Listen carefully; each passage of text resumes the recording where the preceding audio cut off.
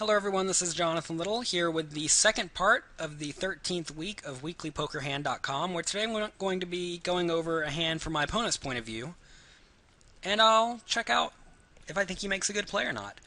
Uh, right here, he opens to 150 with Ace Queen suited. I would actually prefer a raise to about 125 here with my whole range. You, that'll allow you to raise a few more hands, and also whenever you get 3 bet, when you have the weaker hands, you can easily fold. But, you know, making it 150 here is certainly not a leak whenever you're 60 big blinds deep, like he is. J Card Shark on the button raises. And if he knows anything about J Card Shark, he knows that J Card Shark's re-raise or raising re-raising range pre-flop is going to be fairly tight. Let me actually pull up the program we used in the previous episode, and we'll sort of talk about my range, my three betting range here is going to be something like this aces through jacks, ace king, ace queen suited, and that's it, really. I'm, I'm really not going to be bluffing in this situation at all. I'm going to be taking flops with all of these hands in the middle, sort of like king queen, um, ace jack offsuit, ace queen offsuit, pocket tens. I'm going to be calling here, and that's something that a lot of players don't do. They usually have a more strongish hand heavy three betting range. But what I don't like doing here is three betting tens and then getting jammed on and having to fold. And that's usually a pretty big disaster. So uh, let let's say that is J Shark's three betting range. How does Ace Queen suited do against that? Let's plug this in. You'll see that Ace Queen has about 33% equity, which is not very good um, to say the least. So, because of that, I don't really hate a fold here pre-flop from the ace queen suited. And I know that may sound insane, but whenever your opponent is three betting so tightly, which I'm going I'm going to be three betting these under the gun raises extraordinarily tightly. Um, I think it's actually a pretty easy fold. Now, let's say you do decide to play this for sort of like the draw value of it. I don't really hate a call, but notice against my range, if the flop comes with an ace, I'm only going to put a lot of money in if I have if I have ace queen suited beat.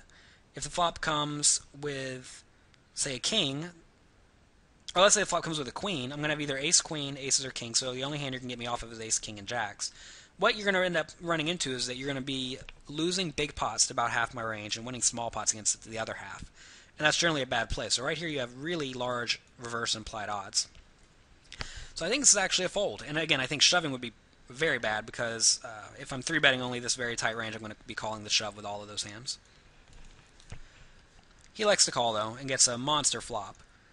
Uh, uh, he gets a flush draw with a gut shot and overcard. So I mean, it's like, what more could you ask for? And this is a cool board because some players that are three betting tight may actually bet like bet fold kings here, which would be a little bit silly, but some players would.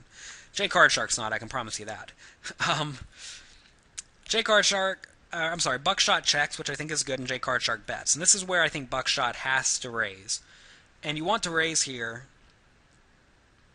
Well, actually, you know what? I say he has to raise. I actually don't think he has to raise because here, if J Card Shark's range is this strong, let's put the board up here. Jack of clubs, nine of clubs, eight of spades. If J Card Shark has this range, he's only going to be getting it in with jacks, kings, so he's going to fold out these hands if you check shove.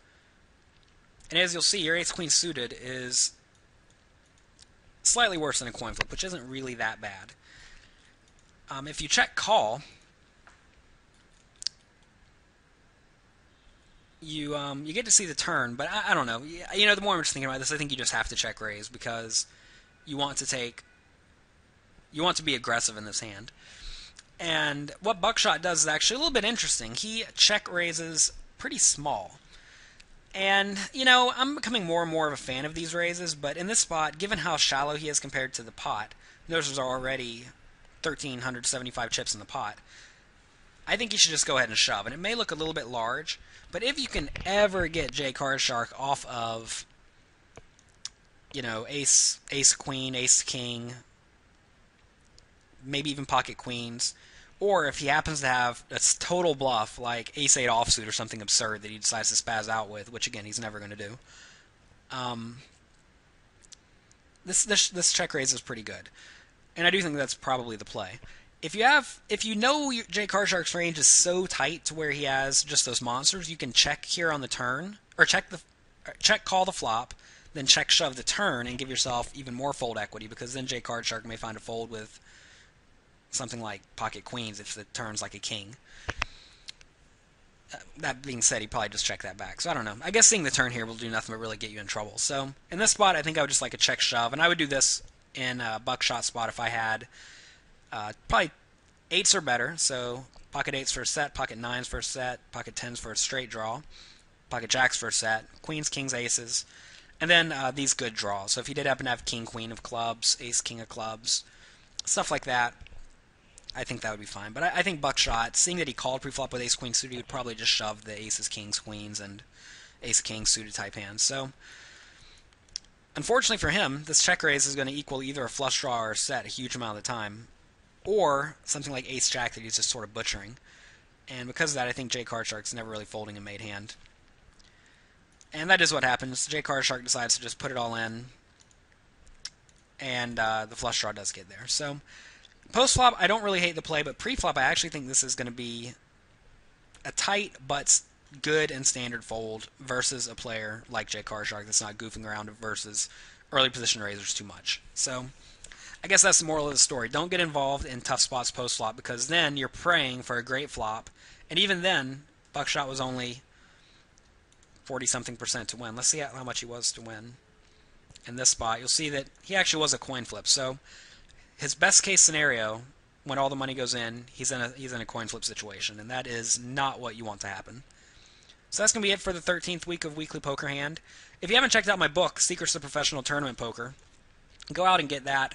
It will definitely teach you about these types of situations and how to avoid these spots where you have huge reverse implied odds that a lot of players get involved in on a pretty much daily basis in a tournament. So check that out. And if you guys would like me to go over one of your hands, please feel free to send it in. This has been Jonathan Little. Thanks for watching.